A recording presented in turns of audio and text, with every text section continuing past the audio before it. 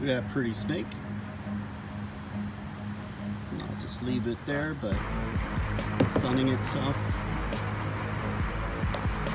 Just uh, beautiful to see God's creation.